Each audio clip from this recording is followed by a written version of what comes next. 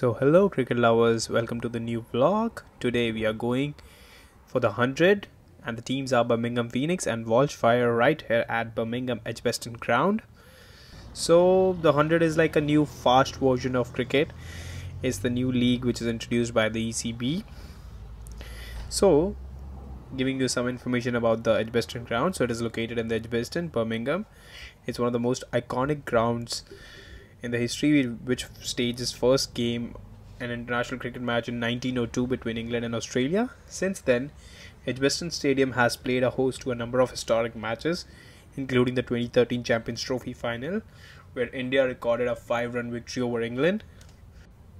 So that was the history of the ground and some famous matches that happened over the time in that Edgbaston ground. So this is how the ground looks like from the outside.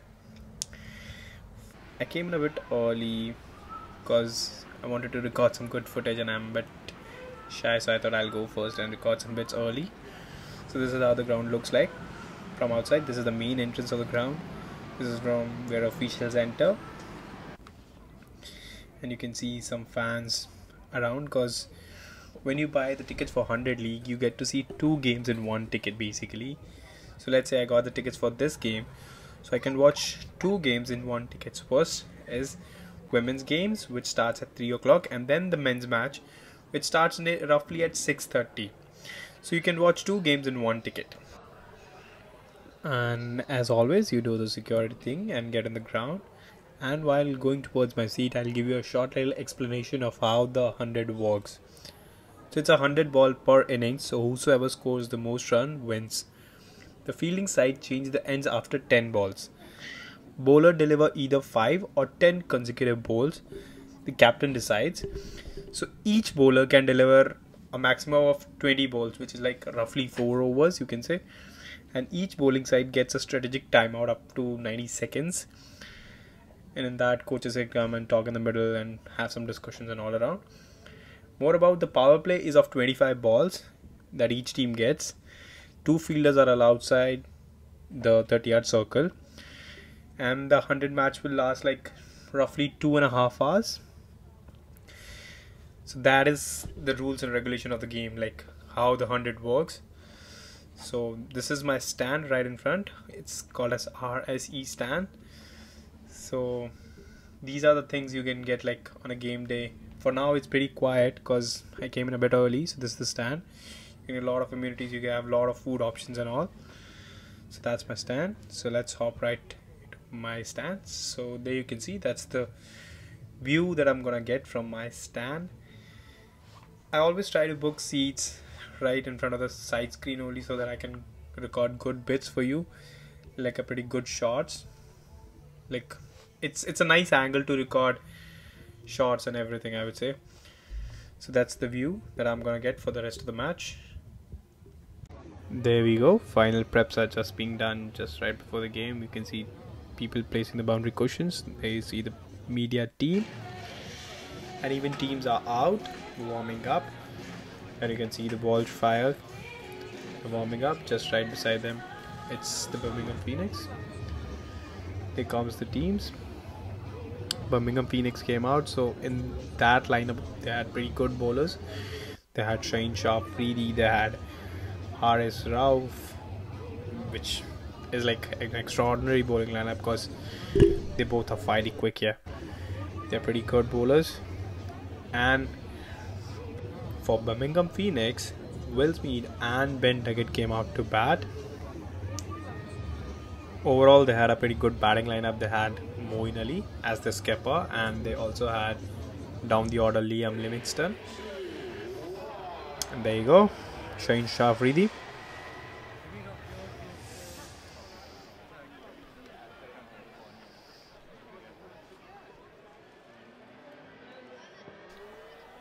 There we go, straight away he starts with a Yorker. I mean that's his go-to ball. And from the other end it was Haris Rauf and he was bowling pretty well. He was a bit unlucky initially and the game was going a bit slow. I feel they were not scoring that quickly, coming on Phoenix. But Ben Duckett was looking in a pretty good nick. He was even smashing Shaheen Shah Afridi start initially. But the overall game was pretty slow. The overall vibe of the ground was pretty cool, as you can see. But Haris Rauf was the main pick of the bowlers. He was bowling pretty fast and quick. And Birmingham Phoenix didn't score much. Halfway stage, they scored only about run a ball, I would say.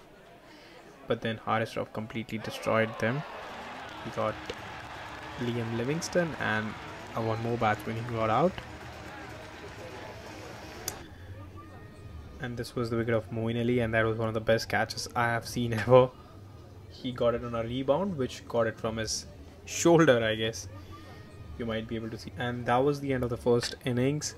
Walsh Fire managed to restrict Phoenix at a very low total. They only scored like 112 runs at a loss of 7 wickets. Which is a quite low total in, a, in this format, I would say. And then soon started the second innings. There we go, Joey Clarke and Stevie came to bat on. And they initially took off, they started pretty well.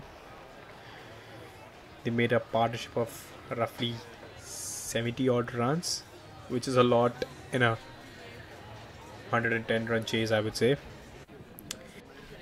And initially, they were batting pretty good. I mean, they were hitting all around the ground. They were batting pretty fast. Almost nearby half stage, like near about 50 balls. They almost chased down the total. But in between, they did stumble. They lose 4 wickets in, in about just 20 runs as you can see on their screen. 80 balls were left and 64 runs were needed and no wickets. But then suddenly they lost 20 uh, in 20 runs they lost 4 wickets. But overall the opening partnership did the job for them. I mean that was the partnership which held them a lot. But at the later half Shadab Khan did try to get some glimmer of hope for the Birmingham Phoenix, but it didn't work out. And it was just 27 runs needed in just 40 odd balls. And that was the winning shot. And it was a pretty one sided game, I would say. But the vibe was pretty cool. Though it was a one sided game, but overall vibe and the environment of the ground was pretty cool.